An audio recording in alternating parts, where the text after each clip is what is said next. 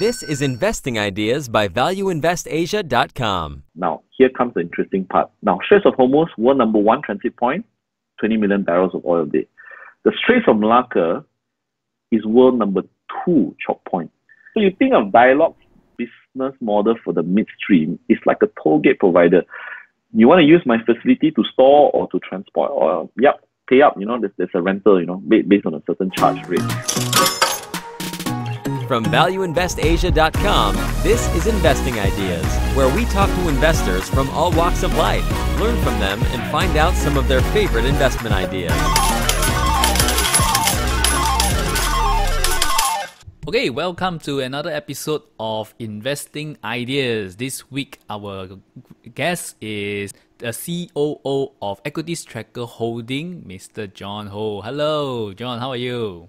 How are you? Uh, fine, Stanley. How are you? Uh, Very great, good. great Wednesday morning. yeah, that's right. Without further ado, right, um, before we even get started on your great idea uh, this week, why don't you maybe share a little bit background uh, about yourself? How do you get started in investing and uh, how do you get interested into investing and value investing in, in particular? Maybe just a little bit about my, my background and how I, I moved into investing. I, I'm actu- actually an engineer by training, similar to you, Stanley. Mhm. And uh, I started out my career with uh, with Shell, and uh, my job was to build uh, oil and gas facilities offshore. And uh, as a, I, in particularly, I I found investing very intriguing because you know when I first uh, understood the concept and understood the meaning of value investing, I, I felt that it could broaden my horizon and it, it ha- I mean, it's a bonus that you make money on the side of it, right? So it was, so it was, it was, I was intrigued because it really broadened my horizon about how you think about things, how you look at businesses, and how entrepreneurs actually think. That that was one of the main appeals for me to go into investing. And I said, oh wow, they, I never even knew this industry existed. You know, I mean, here was I was an engineer, and uh, I actually attended a, a class by Equities Tracker where I'm based right now. And um, I mean, the rest was history. You know, I, I, I just love investing, and I feel that with the technical background that I have and combining with uh, understanding businesses, uh, it, it, it gives me so- some sort of an edge to, to understand businesses. lah.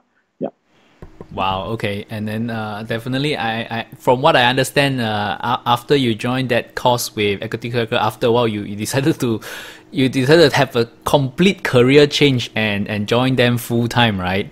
Uh, That's right. When when when did that happen? Um, so I, I left Shell in 2016, but I actually joined the insurance industry first, and uh, I felt it was very complementary because uh, financial planning is a lot about being holistic. uh, So investing is just very uh, it's one part of the financial hierarchy. From when I was doing uh, insurance, I was actually um, asked to help train uh, because I had a lot of passion for for, for teaching value investing.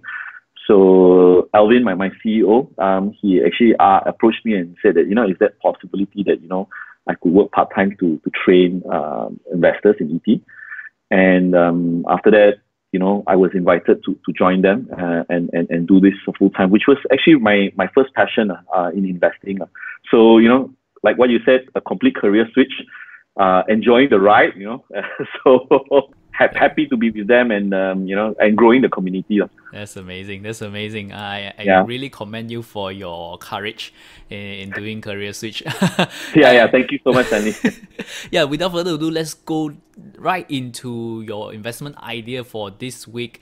Uh, it's a very interesting company, which, uh, to be honest, I, I don't know much myself, but uh, I guess based on your background, you would be quite a guru on this uh, this stock. And uh, since they are also making quite a big splash in my hometown of Johor, you know, why don't Right. you introduce uh, this company to our audience? Sure. Um, the company we'll be talking about today will be Dialog. Okay. Uh, the stock code will be 7277 Dialog. It's listed on the main board of uh, Bursa Malaysia. Uh, currently, their market capitalization would be about 19.734 billion, and they have been listed since uh, 1996. The market cap of 19 billion was taken as of 5th November, uh, which was yesterday. What are the financial highlights about this company? Their revenue grew roughly about three times over the past 10 years. Uh, profit grew five times in the same period. Operating cash flow grew three times, and um, The only, you know, tinge a little bit is uh, they only had five years of positive free cash flow over the past 10 years that we recorded history. Uh, in terms of their balance sheet, they probably have a cash uh, to interest bearing debts of about 80% and cash to lo- total liabilities about two times of uh, what their cash are should I explain what they do as, as a business? Yeah, yeah. No, I just want to make a comment that wow, uh, for an oil and gas company, uh, especially the past decade, hasn't been that kind to this industry, and yet they have been uh, able to grow such uh, aggressively. is definitely quite interesting. Uh, why don't you explain a little bit more? Uh, what what does this company actually do? How do they make money? Yeah. Okay, good. Yeah, and that's that's a very that's a very key comment because I mean. Um, if you look at a lot of the industry players in oil and gas, uh, they've been badly hit. And and our in uh, our explanation later, um, I will explain why they are so resilient.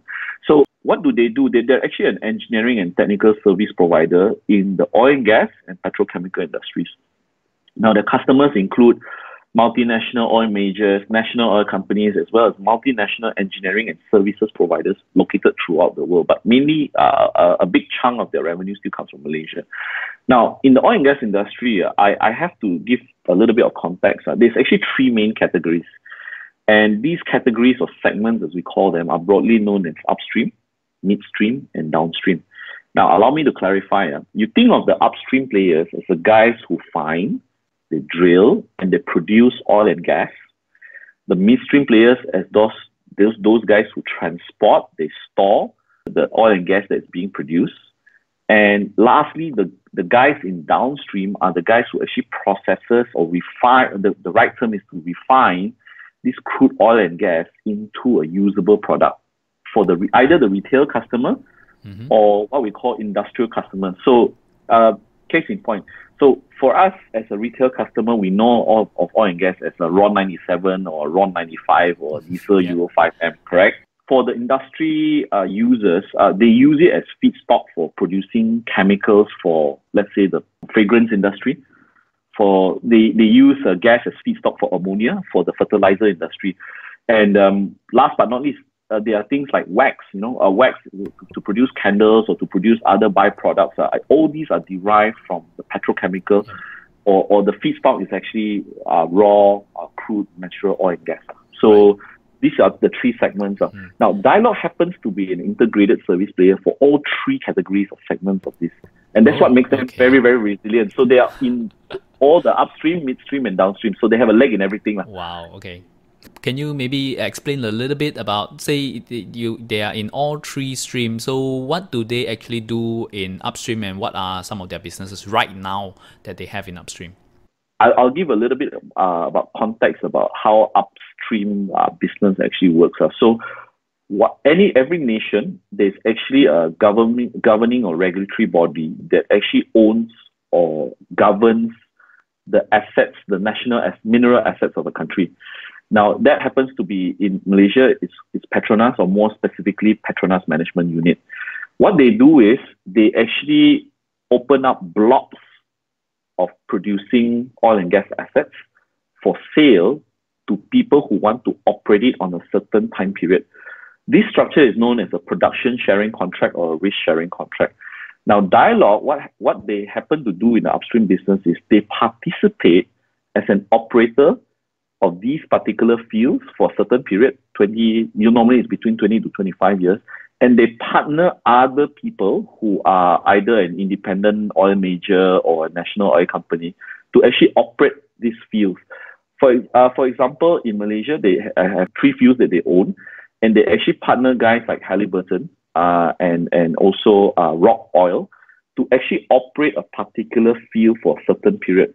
So how do they make money is that they pay for this field, all right? There's a cost recovery, and whatever profit they make out of their operating cost is actually the profit in the upstream. That, that's how upstream players actually make money. Right. So if you were to compare, you think of them like a Shell or an Exxon or, or a BP, a bit a more, a more smaller scale. Mm. Because upstream business is very capex intensive. You know, you're talking about uh, just recently, um, if you follow the oil and gas news, I think it was Total they sold a particular block in Brunei to Shell. They sold 65% of the block to, to uh, Royal Dutch Shell, and it cost I think 300 million US dollars just for 65% of a block that has no assets yet. So you you still have to fork out, okay. still have to fork out cost to build the platform, to do all the other enhancements before you can actually drill the oil. So it's a very capex intensive business in the upstream. Mm. So all the three three upstream uh, asset that they have are all uh, almost like joint ventures and uh, co-investments. Uh. Right? That's that's correct. That's okay. correct. Yes. Okay. Yes. And and uh, what what about their midstream? Uh, what what do they do in the midstream uh, industry? Yeah. So this is where it gets interesting. So midstream is actually where uh, there is a space where people need to transport oil. People need to store this oil for a certain time period before it gets to what we call the downstream of the refiners, then to the end consumer. So in Malaysia, um, what was very interesting was Dialog managed to secure a very big plot of land in Johor. And why specifically Johor? Because it is at the boundary, the trans boundary, or what we call a choke point between trade or transit of oil between Middle East and what we call North Asia or Greater Asia. And why why why they are, are geographically positioned is, is quite simple because geographically it's at the south. Singapore is already uh, into the space uh, in, in, in the form of Jurong Island and Tom, where they have oil and gas mm-hmm. storage facilities. Okay, mm-hmm. they found that Pengerang, this particular site that they have, has a very deep draft where very large tankers can actually berth. So what they do is they build tank farms or storage farms that acts as a transit storage point for people to actually either buy it from uh, refineries actually buy it or actually they store it in, in anticipation for people to actually use it in either China or, or Korea uh, in, in, in the future. So they make money by actually charging storage fees, uh, by charging um, certain value added services like blending or keeping cool gas or blending certain mixtures of, uh, of crude oil. And they actually charge on all these ancillary services on top of their storage charges. Uh, to people who will use their facility because it's also very cap- capital intensive.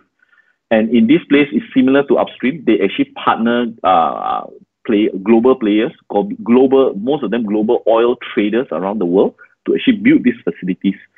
So they participate in a partnership or a joint venture. Uh, each come out with their capital. They build storage facilities, and they actually charge rental for their for their facilities. Uh. That's how they make money in the midstream business. Uh.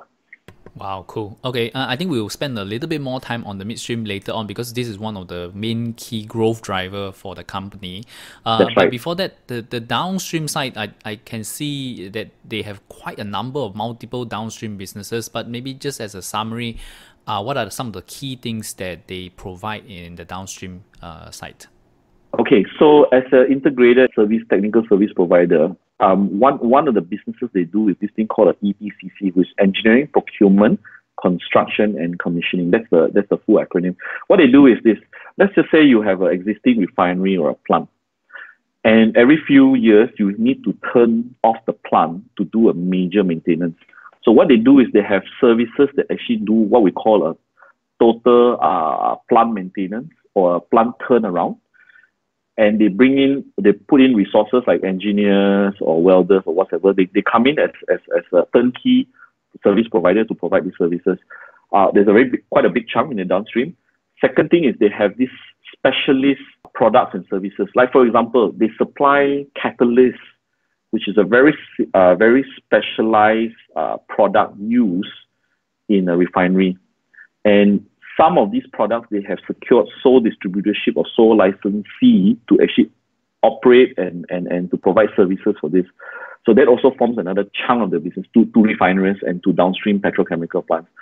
Um, what was interesting was you see, as an oil and gas player, right, you wouldn't seem see them earning money from IT or digital services. Now, they actually have a digital technology and solutions arm and what they do is they develop proprietary software for either the plants that they build, but they also apparently in their latest annual report they've secured an actually an e-payment uh, system, an e-wallet system. So for one of their for one of the products, uh, IT solutions that, that I, I found that pretty interesting. You see, so here they are. Probably they developed this arm to actually help their subsidiaries to develop proprietary IT solutions But they felt that, hey, since we have these resources, you know, can we utilize, further utilize and sweat the asset even more? And they've come up with a digital payment solution, which was uh, I found pretty interesting as part of their downstream solutions as well. yes, yeah. definitely. Okay, that's interesting. Yeah. Uh, I wait forward to use a Dialog e-wallet. but, yeah. but uh, you know, there's so many oil and gas company, especially listed in Malaysia, given that uh, uh, the, the, the country is very dependent on the oil and, this, oil and gas industry. In your own opinion, why is Dialog special? Fantastic question. Actually, what, what really caught my eye was this, Stanley. I mean, I've been in uh, Shell for 10 years. The oil and gas uh, industry is actually very, very cyclical in nature, especially the upstream players. They're very dependent on the cost to produce oil and the price that they can sell it for. Like, you know, every day if you hear business news, they say, oh, crude uh, oil prices are $50 or $70 a barrel. And um, upstream players are very dependent on this, this movement because their costs on average can range from 20 US dollars to 50 US dollars, depending on where you drill and, and, and, and how difficult it is to reach your resource. Now, if there's a downtrend in oil and gas prices, upstream segment normally what they do is they stop spending because it's very capex intensive. They stop spending to build the facilities to actually extract these oil and gas resources. And because of that, there's less money to go around to the other players as well. So it's very volatile. Now, mid, the midstream segment is a bit unique because it's less dependent on the cyclical nature of the crude oil and gas prices. Because the, if you look at the business model for midstream players, right, they spend a huge capex upfront to build the storage facility, or probably in, in some cases in the US, they build a pipe. But then that's all and you think of them similar to a toll gate provider. You know, you drive on a toll. I mean, in Singapore, you're famous yep. for ECP rates, right? So you, you, you can't drive to a toll and you say, oh, today I don't feel like it. I'm not going to pay for my toll, right? No, that's it's, it's, there's no way that that's going to happen. So you think of Dialog business model for the midstream is like a toll gate provider. You want to use my facility to store or to transport, oh, or yep, pay up. You know, there's, there's a rental, you know, based on a certain charge rate. So they don't. If you think about it, they, they it doesn't really matter whether the crude oil price is at fifty dollars a barrel or seventy dollars a barrel because I don't care what's the price of crude oil. My rental rate is based on the tonnage or the volume of oil you store in my facility, not so much the crude oil prices. You see, and this makes very good business for oil traders, especially um, there's there's a market called oil futures trading so what they do is they buy oil at, at the hitch at oil at probably fifty dollars a barrel. Hopefully, three months down the road, because of demand, it's seventy dollars a barrel, and they arbitrage. But these arbitrage happens within a period of three months, right? Somewhere, somehow, somewhere, the oil needs to be stored somewhere, and this is where Dialog actually provides those kind of services to these oil traders actually. So that doesn't really, um, you know, is impacted because of uh, oil and gas prices. Now downstream is also very cyclical because the downstream players they take raw crude oil or gas, which is their feedstock, but their selling price is normally, especially in Malaysia or some certain parts of the world, is regulated. So there's already a cap to how much you can sell, you know. Yep. And when when your cost is rising and your selling price is capped, they, you, you get what we call a margin squeeze. Uh. And because of these downstream players are also very impacted by the cyclical nature of the rise and, and, and fall of the crude oil prices. So why Dialog really is so resilient is because of these these the reason that they are integrated. They're in upstream, yes, they're in midstream, yes, and they're in downstream. But the midstream in a way acts as a buffer because it's always a recurring and sustainable kind of income for them. Mm. That's what really caught my eye. I mean, if you look at most of the oil and gas players that are listed in Malaysia, they are either in upstream, yep. midstream, or downstream. Right. Actually, midstream, uh, I hardly see anyone in midstream. I think Dialog, as a, if you were to take or the spin off this, this business, they will be the only pure play midstream player in, in Malaysia, actually. Wow. Okay. Yeah, hmm. yeah. See, so very interesting. You got tons and tons of listed companies in oil and gas in Malaysia, but most of them are in the upstream or services providers for upstream. Very rare find those guys in midstream or downstream. Right. Wow, amazing. If we look at this company, right, where are you seeing the, the growth potential and the, uh, maybe the growth catalyst of, of this company going forward? I think uh, their growth catalyst is, is this. Uh, I, I need to indulge with a bit of history. Uh, actually, Um, Yeah, oil go, has go ahead. always Go ahead. Uh, Yeah. Tell us, tell us more about history. Actually, I, I could talk for hours on the oil history, but I'm not going to bore you. But you, we, I do need to indulge a little bit because of the context uh, of uh, oil. uh. I mean, oil has always been known as black gold to a lot of economists, the black gold. And um, while there are a lot of up cycles, down cycles in the industry, right? And even this thing called the peak oil theory, meaning um, people say that, okay, because it's a finite resource, when is it going to hit a peak and says there's no more oil, you know, that, that we're going to run out of oil very soon. And, and that has come and passed because as new technologies, new way of drilling for oil, new ways to find oil comes, you know, that, that, that peak oil theory gets cycle gets extended and extended. Now, the problem is this. We as a global population, as a humankind, as a science, right, we have not really found a replacement for oil. Now, I'll tell you why. Uh. You see, oil as a resource uh, permeates into every single part of life. You talk about the earpods, uh, AirPods I'm using, right? It's a form of plastic, right? It's an oil derivative.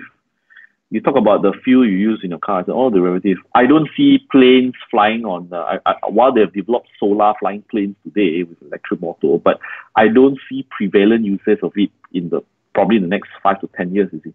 So, like it or not, the human race is actually so dependent on oil that it's not going to go away in the next 20 to 30 years. Uh, all right. I mean, even if it, when electric cars start coming out, whatever, you still need a source of fuel to burn to generate electricity, and most of it is coming from natural gas or oil today. so Yes. there's no way you can you can you can get rid of oil prevailing. I mean, even your phone, plastic materials, everything is derived from oil. So the source of civilization. Uh. exactly, exactly. There's there's no way. Even laptop, plastics, uh, everything, uh, and it's so prevalent and so ubiquitous that people don't even realize it. Now, why is this important? Is because if you look at the nature of, uh, or, you look at it uh, on a map, right? You look at it on a map. Where is the most uh, resource-heavy region in the world today? It, it's it's mainly in the Middle East and in Russia and in the United States. Now, U.S. story for another day because they are producing so much, but they're also consuming as much. So let's look at where there is very high supply but less demand, and where the demand is coming from. The supply is mainly coming from the Middle East and the Russian regions. I mean, you talk about countries like Kuwait, Iran, Saudi Arabia, all right, and the the demand, the growth of demand is actually coming from the ASEAN region, actually, China, Korea, Japan. Now the struggle is this: how do you get oil from the Middle East, where there's huge demand, uh, huge supply, to where huge demand is, and most of it is actually through shipping lanes. You either transport it in a, a very very big vessel, okay, we call them um, crude carriers, or if you transport gas, it has to be uh, cooled down to uh, minus uh, 40 degrees as a liquid to make it get uh, to make a gaseous form into liquid so that you get that kind of storage space to transport it via LNG carrier. So there is a very key transit points around the world, and because of that, then you have to look at geography now. Now, the Middle East region, there's a lot of turmoil, there's a lot of unrest, and here we have the Straits of Malacca. Now, if you guys follow world news, probably about three, four months back, uh, you remember there was a lot of uh, issues about uh, tank- tankers being bombed, and then Iran and US were going and bricks and bats about who is to blame and all that kind of thing. But what importance it played for, for the oil and gas players was this. Now, that area where the bombing occurred is, is, is a strait called the Straits of Hormuz, H O R M U Z. Now, the Straits of Hormuz is a very critical choke point in the world oil transit lanes. It carries with it, uh, it transits uh, 20 billion barrels of oil a day, okay, one day uh, that trans- tra- transits the Straits of Hormuz. Now, what does it got to do with Dialog? Now, here comes the interesting part. Now, Straits of Hormuz, world number one transit point, 20 million barrels of oil a day. The Straits of Malacca is world number two choke point. They transit about 16 million barrels of oil a day. Mm-hmm. That means that's the amount of crude oil that is being, you know, shipped by tankers. So you talk about barrels of oil equivalent, so it can include gas as well, LNG carriers. So this is the amount of oil being transported through the Straits of Malacca from the Middle East through the Straits of Malacca all the way to countries like Japan, Korea and China, you know. So it's a very, very important transit lane in world geography. So were you surprised in, in someone, uh, Stanley? Wow, I didn't realize that to be Yeah. honest. Yeah, uh, but I always knew that you know Singapore with Jurong Island is one of the top processing uh, areas of oil and gas uh, in in the region. But I didn't realize that the amount of oil flowing through Australia Malacca is actually that high. And, and that's why Jurong has prospered all this while because of this transit point. Now, if you take Straits of Malacca and Straits of Hormuz, right, both combined, uh, it takes up 60% of world oil volume moving around. 60%. Wow. Just two places. Okay. Yeah. so it's quite it's quite crazy now. Mm. Now, you see, now what we what we look for for Dialog growth catalyst is this. Uh, and I need to um, show you some statistics or maybe verbalize some statistics about um, why why I see the growth now. If you look at um, Rotterdam Port, it's a port in in Holland. It is known as the world's biggest uh, world's biggest petrochemical independent oil and gas storage in the world today. Okay, in the world. Now, Rotterdam Port alone uh, has a capacity, storage capacity of about 30 million meter cube of storage capacity.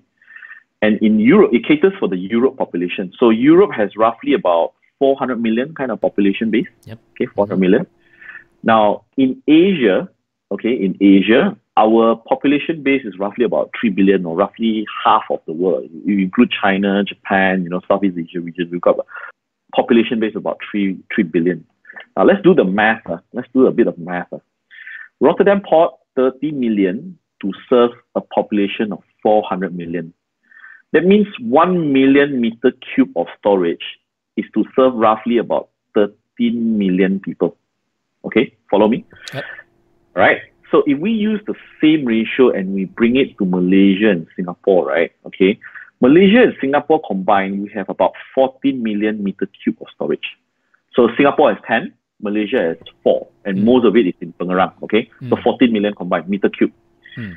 Now, if we use the same ratio of 1 million meter cube of storage to serve a population of 13 million, Mm. you take the population of Asia, which is 3 billion, Mm. you divide it by 13, uh, Mm. what you will get is the number of storage per meter cube uh, of how much we need lah for Asia. Mm, mm, That comes up to 230 million meter cube.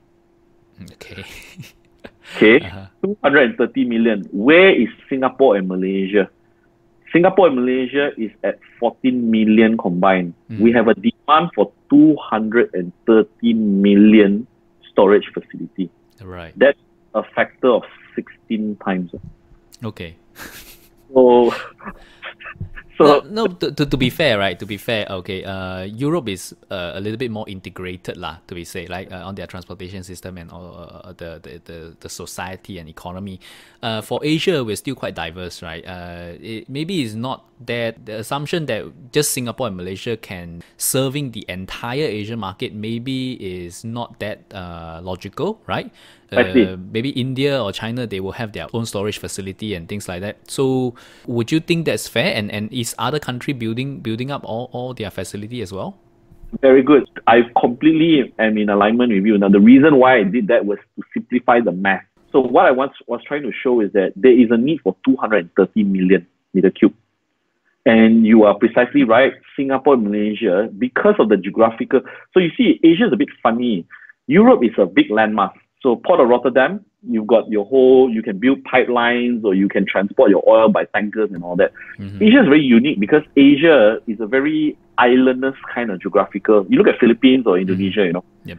And and that's that's the reason why they need to have independent, geographically independent storage facilities around the region that can take up this 230. And point point taken, you know, you you cannot be we cannot be expecting uh, Malaysia and Singapore to take up the whole. But even if you discount that, even if you discount that, right, you look at the landmass being connected. I mean, this is coming back to geography. So Thailand is connected to the peninsula and as well as Singapore. Indonesia is, is separated. Philippines is also separated. China is also separated. And China are also building their own independent storage facility. So even if we put in a discount, let's just say even if we take a quarter of 230 million, right? A quarter of it will be 200, 100. You're talking about 50 million storage capacity. Mm-hmm. 50 million. Uh. Mm-hmm. Here we are at 14 million. Uh. So that's where I see that that, that growth uh, of demand because Malaysia somewhat uh, is blessed because of its geographical condition. Uh. We have we have we, we are straddled in between the Straits of Malacca. In the your home state of Johor, there's a very deep port, uh, which we can talk about later. The the you, you see, not all coastal areas can be developed into a port. So if you have, if you understand uh, the, the, the, depth of a port uh, plays a very important role because if you have a port that's not deep enough, the huge carriers that the Dialog is serving cannot even come because the dra- they, they require a certain draft to allow these big carriers to be able to bunker and to, to, to fill up the tank storage facilities. So I mean, if we're coming back to the catalyst of growth, these are for me qualitative uh, or even quantitative things that I see as growth catalysts for actually Dialog. From what you explained to me, uh, it seems that uh, the, the the project at Pengerang Johor right now it will still be the main growth catalyst for for this company. I have been to Pengerang to take a look. Of course, uh, Petronas is there. Uh, and uh, Dialog is one of the first company that has uh, their ra- their asset ready. You know, even before yep. Petronas, situated at the west uh, east coast of um, of Johor, uh, right. and directly compete with with Johor uh, with Jurong Island in Singapore, lah. Right. firstly, why don't you share a little bit what what Dialog is building up there, and would the Jurong Island be a competitor to them, or how, how do you see the whole relationship between Pengerang and jo- jo- Jurong Island? Fantastic question. Uh, so Jurong and uh, not just Jurong and also Bukom Island in uh, Singapore actually. This this two. So um, Singapore saw this vision very very early about them trying to emulate Rotterdam Port, which I explained earlier, right? And what they did uh, was actually create an ecosystem. That means you need a storage facility, but at the same time you need the end users, which are the mid downstream players, the refineries. So they encourage investments from companies like Shell. Shell has one of the world's largest refinery in Bukom Island, uh, which is close by to Jurong. They also have attracted guys like Exxon to build a refinery there, BP to build a refinery there. And um, they have actually reclaimed a lot of land to actually cater for building these refineries and the storage. Now, um, if you look at the comparison, um, do you see, uh, do I see Dialog competing against uh, those guys? Uh, somewhat I would say yes, and at the same time they are complementary. Why? Uh? My my very uh, my my thesis of investing is this. If you look at the entire value chain, are they competitors in somewhat? Yes, but is the cake or the pie big enough for both these players? And I say yes.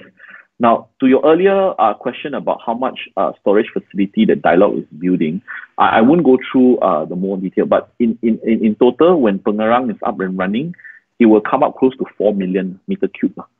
I think there's still room to grow. They have not launched their phase three. And I see it rather than competing directly with Jurong or Bukom.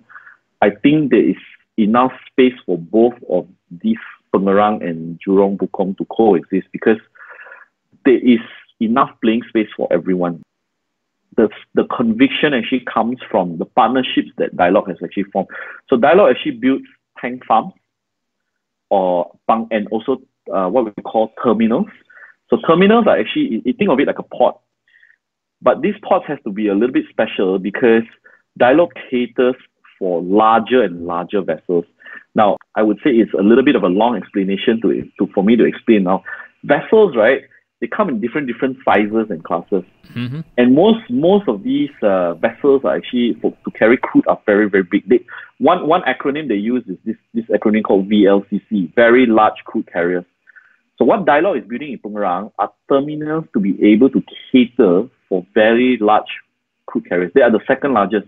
The biggest uh, crude oil carrier is this thing called a ULCC, ultra large crude carrier. You cannot get any larger than that anymore. So uh, Dialog is building in Penang is the terminal. They're also building the storage or what we call tank farms to store this oil. And how it relates to what you say of Petronas is Petronas are actually building refineries, petrochemical complex that use this crude oil and use this gas as actually feedstock for the manufacturing. So they will be producing ethylene, which is a base chemical for your uh, perfume industry, uh, or also your plastics industry and all that. So you see, they are part of on, they're only part of the value chain uh, from the crude oil storage terminal storage to the refineries, and that's where they are. If I were to put it simply, they are building another Jurong or another Bukom in Pengerang. Yep. Yeah. The the project that the Dialog has uh, in Pengerang, of course, is a joint venture. Given that that there is, uh, I guess, huge expectation on the project, and also they, they have spent a lot, a huge capex onto the project. How how how dependent do you think is your current thesis right now on the success of Pengerang? I look at it uh, as I mentioned earlier. While I'm, you know, singing a lot of songs about Pengerang and all that, and the growth story catalyst, I, we have to remember. I, I have to remind myself they are actually an integrated oil and gas player. So remember we talked about they have an e-payment system and all that. Mm-hmm. So they, if you if you have followed the if their annual reports for the past few years, right? One of the key things, and they keep on repeating this, uh, is one of the key management KPIs is actually to diversify their source of revenue. So they're very cognizant that not one segment of the industry can actually bring them down. And I think that comes from experience because they are in all three segments, upstream, midstream, and downstream. While Pengerang is the biggest capex uh, load on their on their cash flow and also their balance sheet today, I would anchor it as probably 60% of uh, the success uh, that I need. Why? Very simple. The moment capex is spent, right, and they recoup their cost on their capex, whatever profit they get is, pure profit already. It's, probably some operating costs to maintain the facility and all that, but it's almost pure profit uh, from, from there on, you know. And um, they're still also getting a lot of other revenue streams from the other parts of the segments of the business. Uh. So I, I see while Pengerang is a big part of their growth, I don't see them, you know, uh, just because Pengerang fails, then, you know, you, you can't buy this company. You know we have to remember it's, it's an integrated player. Uh, maybe just this is my own personal opinion, but I think the, the most risky part of Pengerang has actually been over. La. We have seen that the development is really still on, uh, ongoing, and also Saudi Aramco has uh, decided to join uh, Petronas into the project. Uh, so right. that, that's definitely gonna give them a big boost. Let's talk about valuation right now. All seems good that the company is still growing, has growth potential. How, how do you value this this kind of company? Okay, so for me, um, I, I look at it from uh, two prong. Uh. One is because um, we know that this is a very capex intensive business.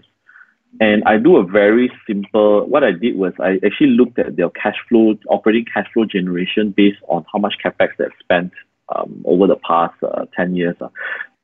Let's look at it. Uh. Over the past 10 years, they have spent on average about um, between 200, 200 million to about 400 million kind of capex per year. How is it resonated in terms of operating cash flow growth? Uh?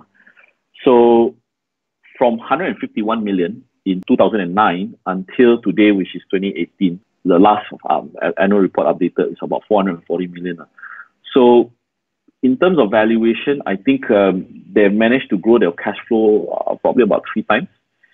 And if I look at from a yield perspective, a yield perspective today in terms of timing, their earnings yield at current prices is probably about two to three percent, and uh, I, I find it on the high side.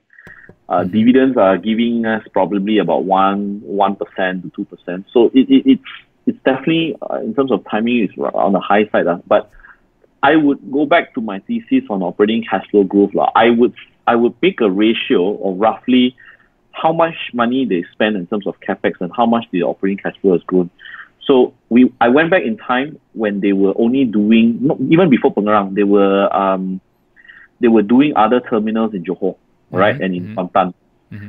And what I found, um, I can't, it's a bit difficult to verbalize, but what I found was that the amount of money they spent in capex, they actually grew the operating cash flow 50 times. Okay. So you put in, for for example, I put in a dollar. That means I managed to grow my operating cash flow from one dollar to fifty dollars. Mm-hmm. Wow. So that was that was why I knew that they could actually really sweat their asset. Mm. The every money they spend in terms of capex, they really try to you know uh, sweat it and, and, and grow it, or compound it. And uh, for me, I mean that's a very simple way of valuation rather than you know an internal rate of return or this. This is somewhat of a discounted cash flow, but in very simple terms of uh, approximation. Right. So well, basically, yeah. what, what you're saying is, uh, given their good track record of being able to reinvest their capital very, very effectively, even though the valuation might seem slightly steep right now, you would still seriously consider this company at this point. Yeah. At, at this point, because uh, uh, they, they have a dividend payout ratio of roughly about 40%. And um, so, what we do as, uh, as investors is that we always try to increase our margin safety by lowering our costs. So let let's use an let me use an applicable example. Let's say today Dialog is as of close yesterday was three ringgit forty eight cents. Okay, so let's just say you buy today a thousand shares at three ringgit forty eight, right? And in average, let me see what was the dividend they paid in total last year. They paid a gross dividend about 2.2, 3.2 cents. Mm-hmm. So on a thousand shares, you're probably getting about 320 ringgit. And if you had bought a thousand shares, it would have cost you 3,400 ringgit, for example. Okay. So you get 320 ringgit from dividends, okay, based on last year's.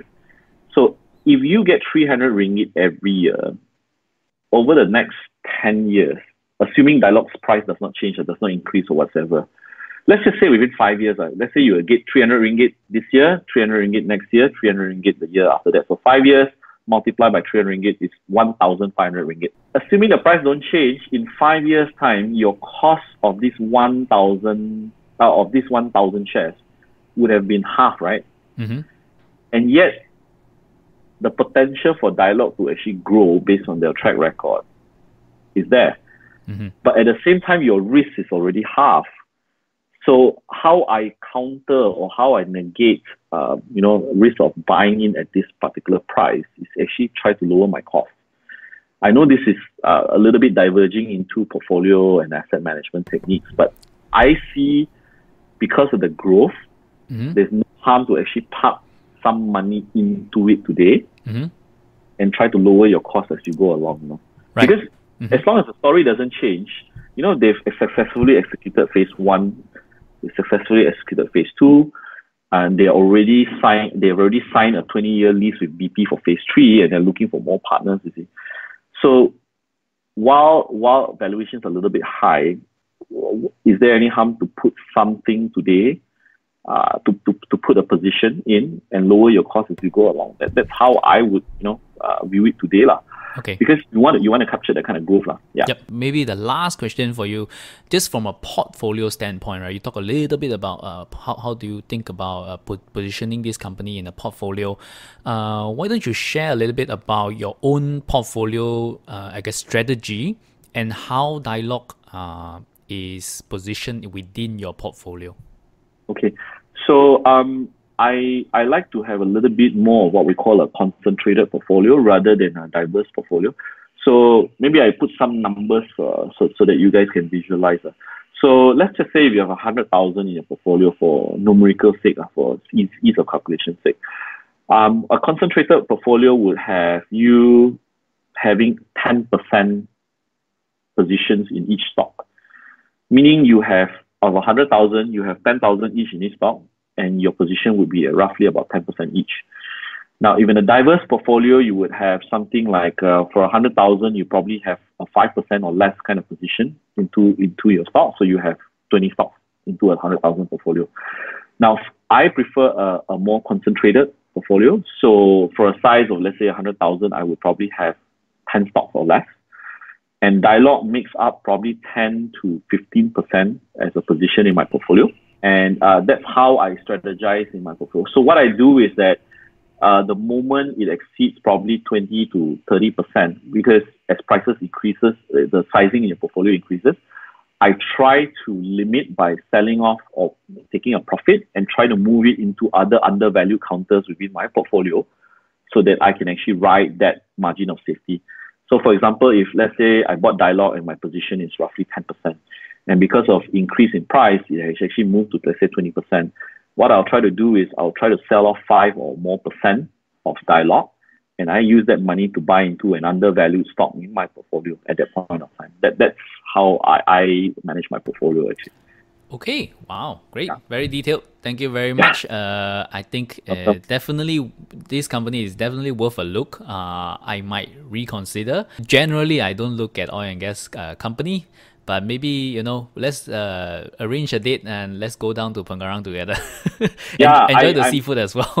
enjoy the seafood. I was uh, ironically when I was in Shell, I was based in uh, somewhere near Pengerang, okay. twenty minutes away uh, in Telok Ramunia. And ah, uh, okay. uh, when I left, I already started seeing the, the clearing of swath of land and all that. And I, I can bring you to a fantastic seafood restaurant I can recommend. definitely, definitely. All right. Yeah. Thank you so much again, uh, John, uh, COO of Equities Tracker Holding Berhad.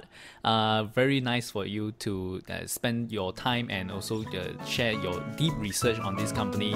Once again, thank you very much, John. It's been a pleasure. Thank you so much, Danny. See you. Thank you for listening. You can subscribe to our show on Apple Podcast, Google Podcast, Spotify, or wherever you get your podcast. If you are feeling generous, please give us a rating and review as well. This would greatly help other investors find out about our podcast. To access our show notes, please go to valueinvestasia.com slash investing ideas and be sure to sign up for our email newsletter for more outstanding content and reports about investing. The show is for entertainment purposes only and should not be taken as investment advice. Please seek professional advice or do your own research when making any investment decision.